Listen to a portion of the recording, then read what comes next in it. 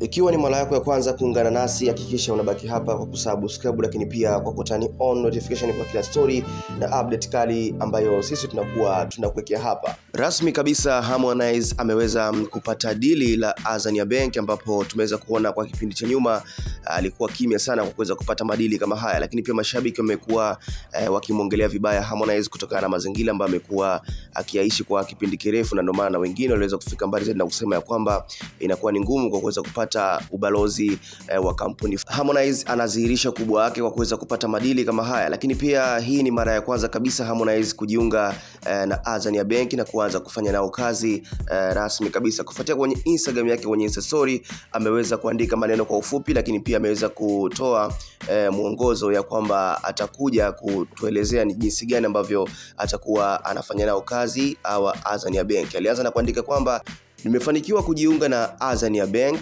nitawaambia huduma zao, ila kwa ninavyoona it's another level of bank. Azania new member. Alafu mwisho akaweza kuweka emoji ya tembo uh, kabisa kwamba ukubwa wake ni kwamba jinsi gani ambavyo msanii anatakiwa kuwa. Madili ni mengi Harmonize amefanikiwa kuyapata, lakini pia tumeweza kuona na msanii Rayvanny akipita ambapo Harmonize alikwisha kupita zamani, yani CRDB Bank ambapo Harmonize aliachana nao mara baada ya mkataba kuweza kuisha. Hapo mwanzo alikuwa nao na alikuwa ni moja kati ya mamemba ambao eh, ni maambasada wa kuweza kutangaza eh, ile CRDB Bank, lakini pia hii ni mara nyingine tena Harmonize anajiunga na uh, benki nyingine yani Azania Bank, lakini ni mara ya kwanza Harmonize kuweza kupata dili hili uh, la Azania Bank. Inadhihirisha ni ukubwa, kwa sababu ni wachache sana ameweza kufanikiwa kupata madili, lakini pia wasanii ambao kwa sasa hivi wanaongoza kuwa na madili manono kama haya ni wale wasanii matop, wasanii wakubwa ambao ukiwataja kwa hapa kwa Tanzania basi huachi kumtaja Harmonize, uh, Diamond Platinum, lakini pia na wakina Rayvanny, kina Alikiba,